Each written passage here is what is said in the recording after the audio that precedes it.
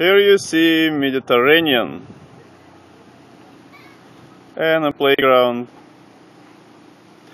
and a little thing here called Big Sister. The Big Sister is very simple. Just blue and white. Blue and white. What colors are these? These are the colors of Israel. And she the shoelaces. For her small sister. Small sister? Green and blue jeans.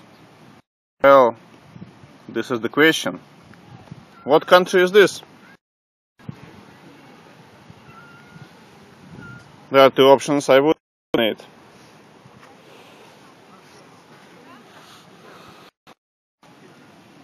Smaller than Israel. What can it be?